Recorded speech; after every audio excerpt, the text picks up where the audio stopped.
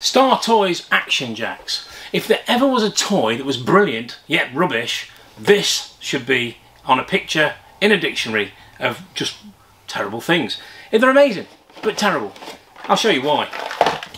These have never been out. Brand spanking new. Nobody's ever opened these since probably the late 70s, early 80s.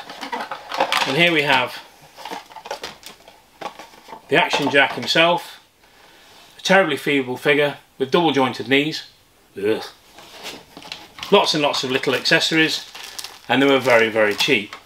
I mean look it's so naff but there is so much play value there. You can have a whale of a time playing with your Action Jack for not a lot of money. These were so cheap and they still are. I love them. Real fun toy.